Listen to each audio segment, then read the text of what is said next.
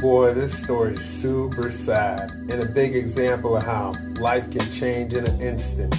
This man's whole life changed on an hour-long flight. This is Joseph Emerson, and he's charged with 83 counts of attempted murder. And the story's breaking down, so he's an off-duty pilot.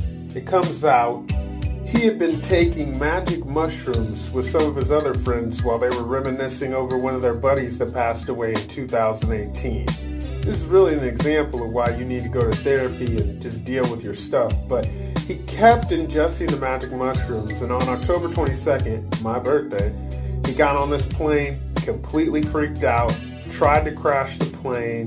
They had to restrain him. They said he took off his clothes, he peed on himself, bunch of other stuff. Now, as you can see, life different. These are the other victims, his family. I mean, this is crazy.